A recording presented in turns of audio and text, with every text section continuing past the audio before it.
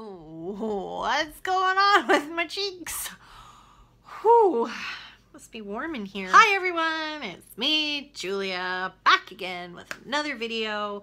Today we're going to talk about something that I've been pondering for the last week or so. And if you've been watching me for a long time, you know traditionally I have a really hard time paying like high prices for cosmetics. Nothing is ever going to make, in my opinion, a lipstick worth $50. I mean, even if like you open the tube and little fat cherubs fly out and kiss the color onto your lips, still not going to be worth 50 bucks in my opinion. However, I have noticed there are certain things that are worth spending a little bit more money on. So I thought I would pull together my five top like products, like not necessarily like items, like individual items, but categories of um, products that I have found throughout the years um, that are worth spending a little bit more money on and things that you don't need to go to the department store for. And as a matter of fact, you're probably better off going to the drugstore. So I thought that's what I would do. So I'm going to talk about my top five and I feel very well equipped to talk about this topic because as I said, I'm 45. I've been buying makeup for a very long time. And as I'm trying to only focus on the products that I really love these days instead of just accumulating a lot of stuff, I'm able to see what products work, what products don't, and you know, where the best place is to buy those things. So let's jump in. Number one, the first thing I think is definitely worth spending a little bit more money on is concealer. My two favorite concealers are the Marc Jacobs Remarkable Concealer and the Too Faced Born This Way Concealer. So I just, I really think that department store concealers are worth the money that they charge for them because I just find the coverage is better on them than drugstore concealers. I find they have much better color correcting options than the drugstore does. I just find that they're a, a good place to spend your money on and you know it's really all about covering what you want to cover without looking too heavy and cakey or you know too dry and stuff like that and I think you get that more with um, department store concealers than you do with drugstore concealers. There are, of course, always exceptions. For example, the um, the Maybelline Dream Touch Lumi like highlighting concealer, that to me is a dead on dupe for the YSL Touche Eclat in that kind of pink shade and it's much cheaper. And the Maybelline Fit Me is again, and it's a liquid, but it does offer some nice coverage and it's not too drying. It's really good. Still overall, I prefer to spend more money and get you know, more mileage out of these concealers. Conversely, something I don't think is actually worth spending the money on is department store foundation. Um, and I should add a disclaimer, like that's in my opinion from my personal skin type and my personal skin concerns. Um, I have dry, dehydrated, amateur skin, and I find for the most part, most brands don't address that skin type very well. The foundation that will work for you, you'll put it on and it won't look like you're wearing foundation. You won't be able to see it sitting on top of the skin. It'll just merge with your skin and look like your skin that's when you know you've got the right foundation. And for me, I have found that in these three foundations and they're all from the drugstore. If I want something nice and light coverage that just gives a really nice glow to my skin, I use the L'Oreal uh, True Match Lumi Cushion Foundation. Uh, even though this is drugstore, it is quite expensive. That's one thing I've always complained about is you don't get a lot of product for the money that you pay for it. It's like $20 and up. But I just, I love the finish so much, much and the fact that it's not heavy. And I also really love the L'Oreal Pro Glow. This is a more full coverage foundation that has that like kind of heavier feel to it, but it's fabulous. And if I need like more coverage, this is what I reach for. And then something that I really love and I've loved for um, probably a year or so is the Rimmel Match Perfection Foundation. This has, again, kind of light like it's got it makes your skin radiant. It's just really nice and looks natural on the skin. Is kind of a medium coverage. So I've got like light medium and full coverage here. Okay the second product that I think is definitely worth spending money on at the department store or like a store like Sephora and Ulta is eyeshadow. I'm just I got so tired of spending $10 on drugstore quads or you know palettes that had no color payoff no pigmentation just really difficult to work with. I just I've had it. Like department store eyeshadows tend to be much better formulated. They've got much better, like the perfect amount of pigmentation. They've got the perfect amount of color payoff. They've got a really nice formula and a lot of the like powder products that I like at the department store, it's because of the fact that they're finely milled and they have almost like a creamy texture to them. And if they have like some sort of shine in them, they tend to be a little bit more like of a sheen or a polish at the department store as opposed to just throwing cheap glitter and something to make it shiny. And the best thing about, you know, being at the department store is just the color range and the fact that they tend to have more wearable um, color combinations in their palettes and things. Uh, probably my favorite eyeshadows like at a department store price or MAC shadows. I just, they're, for the most part, there are some duds. I won't lie there. And that kind of ticks me off when you spend a lot of money on something that's a dud. But for the most part, like the shadows that I've really fallen in love with, they tend to be a little bit more complex. So I love how creamy and complex um, MAC eyeshadows are. And I'm really starting to get into like these little eyeshadow pencils. And I just, what I love about the the department store is, okay, I hate how expensive they are. Like a cream pencil like this is around, you know, 33 $35 or something like that. But they've just got color options that you don't see at the drugstore. And the formulas are really great and they're just simple to work with and you can throw them in your bag. This is like a twist up as opposed to a pencil that I have to sharpen. Um, this is a Bobbi Brown, what is this? Longwear cream shadow stick. So nice. But of course, as always, there, there are exceptions. And in my opinion, some of the best at the drugstore, the L'Oreal La Palette Nude 1, or yeah, La Palette Nude 1. I think this is a fabulous palette. It is on the pricey side, especially if you're buying it in Canada where I live. I mean, this can be upwards of $30, which to me, becomes not quite worth it because you might as well go and get a Too Faced little palette for $36. But if you can find this for $20, I think, and I think in the States it's like 15, it's definitely worth it. I haven't tried the second one, but I love this one. Then one of the best palettes I've seen come out of the drugstore are these um, CoverGirl True Naked palettes. I think there's three in the collection, and this one is the Roses one, which is kind of like a dupe for the um, Urban Decay Naked 3. I prefer this one to the Urban Decay Naked 3 just because the formulas are, you know, like there's a couple of mattes, there's some um, just like satin finishes and then there are some really nice high shine ones but they don't have the glitter whereas a couple of the shades in the Naked palette, the Naked 3 palette are just chunky glitter shades and they've got like they're just not very wearable. So I don't use, I only use a couple of shades in that palette, whereas in this one I can use all of them. And the Wet n Wild, like the original color icon trios that came out like what, eight years ago or so, these are the best and probably the best one is this walking on eggshells just because these colors are kind of all dupes for MAC shades but they're so cheap these are fabulous of course, like everybody, they changed the formula, and so now their new palettes aren't that. Something that I definitely do not think, after a long time of searching and learning my lesson, I don't think department store mascaras are worth the price. That's not saying that there's not some beautiful mascaras at the department store. I'm just saying for something that you have to change and throw out every three to six months, like you can't pass it on to someone else. You can't get like really if you're using it every day and especially if you're a person that likes to pump it, you should be probably throwing them out every three months, um, especially if you've got sensitive eyes, six months for sure. Drugstore mascaras have come so far, like they're just so much better than they were 10 years ago to be honest with you, $36 versus $8. This is Marc Jacobs Velvet Noir. Not that I don't love this, but this smudges underneath my eyeballs. This one does not. The exception to this rule, especially for me, is tubing mascaras. The downside with tubing mascara is it's not volumizing enough for me. It doesn't give me that wow you know, kapow type of lash. So what I've started doing over the last three weeks is I've started layering my mascara. So I'll put a mascara on that has the qualities that I like, then I seal it with the tubing mascara and it's been working fabulously. I'm not getting, and it even helps the performance of the tubing mascara because it bonds with the mascara underneath and it doesn't flake. I was getting some flakes with this.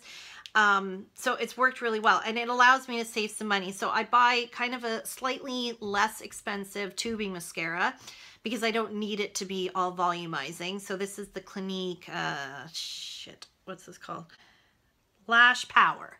So you can kind of dial it up. I leave it on the same I don't like gimmicky mascaras like that. So I buy this. This is about $25 and I'll just layer it over top of a less expensive drugstore one. And then I don't have to buy another $36 mascara because this will break my heart when I have to throw it out in three months from now. So there. So another product that I think isn't worth spending money on these days are eyebrow products.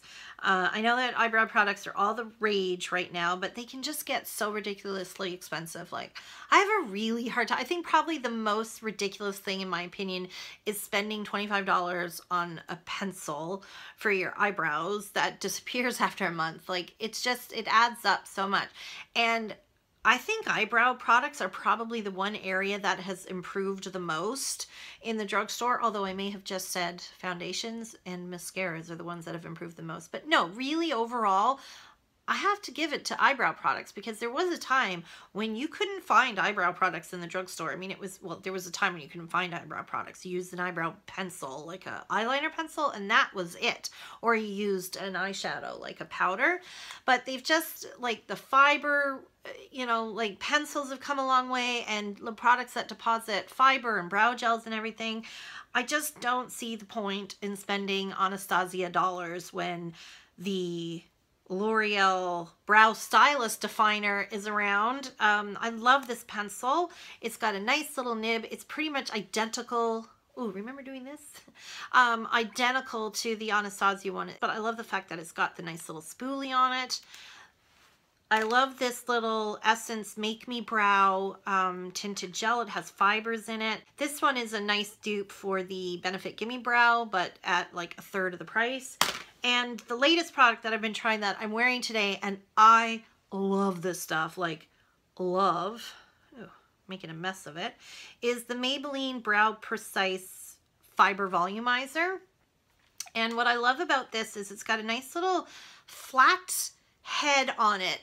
Um, the color, I probably should have gone with um, more of a medium brown. This is a soft brown, so especially on camera, it looks a little red, but I just, you know, you set and you just fill it and it's got these fibers and this gel and it just poof, plumps up my eyebrows in a natural looking way because I have a really hard time drawing on my eyebrows. I just, you know, for 10 bucks, this is so good and I don't need to buy Anastasia brow pomade even though I have a full bottle of it jar of it in my drawer. Something that I think is totally worth it at the department store, like to pay a little bit more money for, is blush.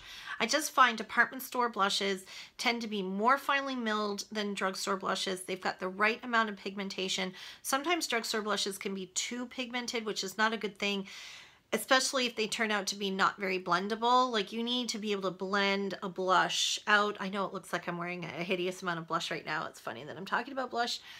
It's hot in here. My cheeks are red. Um, but you need to be able to blend that out. And again, like foundation, it should come together with your skin and look like it's a part of your skin and look like you just kind of woke up looking like that. So my favorite department store blushes at the moment are, uh, let's just do these two. So this is the Benefit Rockateur. I hate the packaging. I wish they would come up with some more sleek packaging. I like the smell. It's just the perfect shade. And the other thing that I love about department store blushes are they'll have some sheen in there, like some sort of like luminous quality to them. But again, it's not a crap ton of gold glitter, chunky glitter that's stuck in there. It's actually a really nice shine to your cheeks. So you get kind of like a highlighter mixed in with your blush, but you know, they just, it just kind of like glows, gives you that nice glow from within. I'm really loving this little Sephora brand Micro Smooth um, baked blush in Guava Glow. And I've been wearing, like, this side is, is quite scary, maybe in the summertime. But again, see how it's got that polish to it? But this light side, was perfect in the winter. I was using it as like a highlighting blush and like my OG Holy Grail, NARS's Deep Throat. I love this. Again, just the right amount of pigmentation. To me, this is like the peach version of the Rockateur blush. Light, glowy, kind of like a highlighting blush. This is a peach version. This is more of the mauvey pinky blush version. Next product that I think is worth the money at the department store is face powders.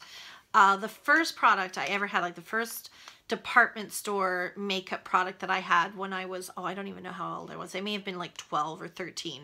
My mom bought me some Clinique powder and it was like a loose powder. And I mean, it was ridiculous. It was like this big pot and I'd poof it on my face and I would look like a ghost. But I felt you know, like a grown up and I felt sophisticated and that was my entry into makeup was the Clinique loose powder. Face powders from the department store tend to be super finely milled.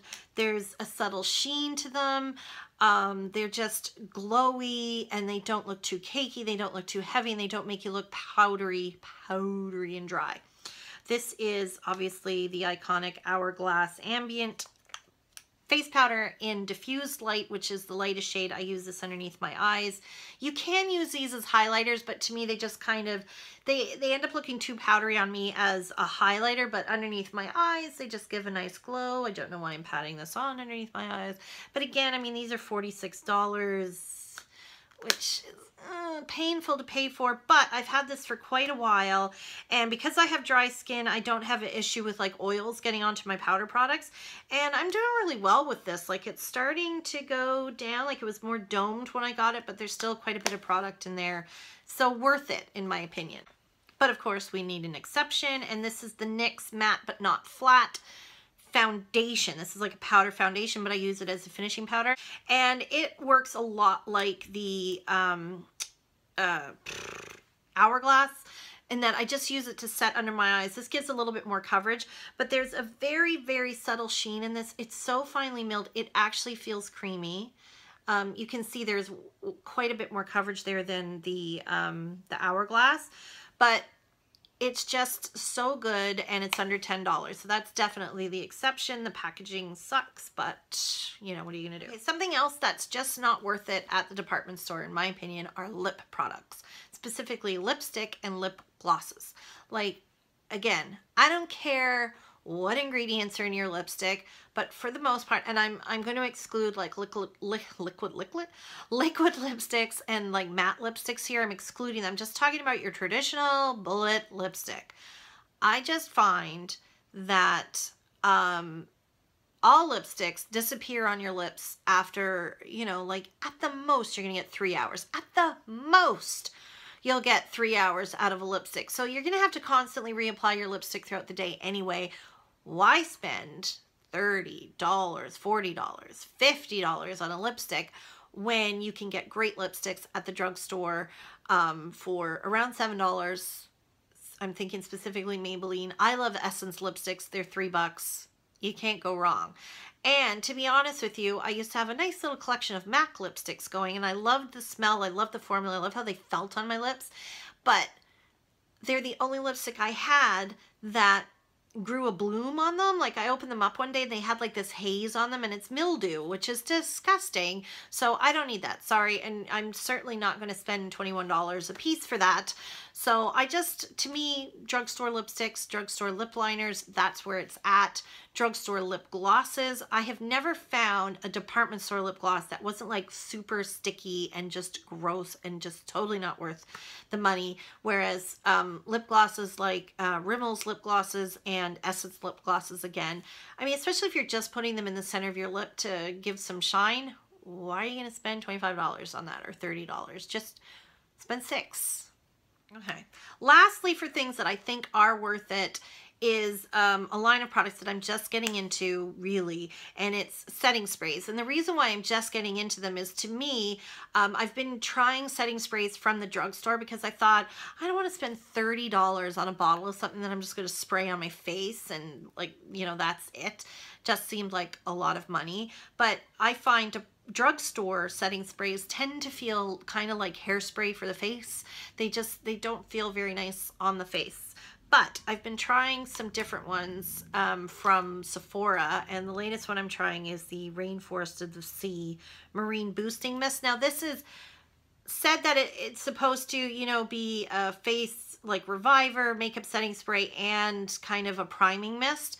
But really, when you look at the instructions, it says to spray it on your face before you put your moisturizer on. So I think it's really only supposed to be there to kind of open your pores. Like you spray it on your face and then you put your moisturizer on. It'll help your moisturizer absorb absorb absorb, absorb better. But I like spraying it on after I've put my makeup on. It's got such a nice smell Mm.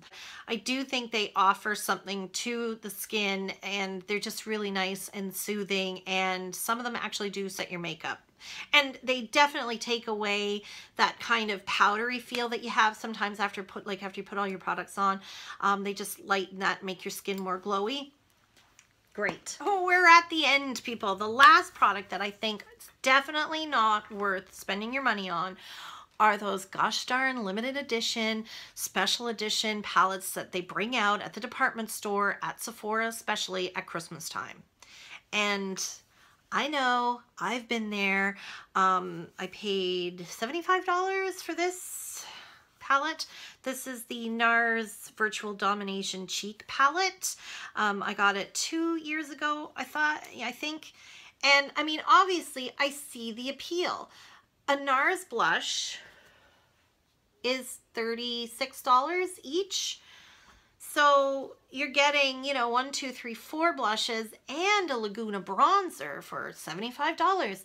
What a great bargain, right? Yeah, so what ends up happening is there's, you know, you'll find two shadows that you like in an eyeshadow palette or two blushes or one blush that you like, and then the rest of the palette goes unused.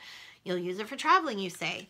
Well, it's too big, really, and bulky as opposed to just taking your one favorite blush with you. So, you know, I understand how we get swept up. I mean, we want the beautiful packaging. We want to feel special that we got it. But I just feel that at the end of the day, they're not worth it. And to be honest, I find a lot of the times, especially with the eyeshadow palettes, the quality of the, of the eyeshadows is different than in their regular line. Like they go to a different factory or something to make these mass produced kind of larger sets and it's just not worth the money. Um, i was looking very closely at that hourglass um, palette last christmas that you know that like the the marble one that was like $150 or something. Ridiculous. But i didn't do it because this taught me my lesson. You know it just sits in the top drawer of my original beauty box looking pretty never getting used. So don't waste your money on that. So there you go. Words of wisdom from the old lady to you. I hope I've helped you save some money or find some things that, you know, you can go and splurge and treat yourself on. Uh, yeah, there you go. Thanks so much for watching, everyone, and we'll see you next week.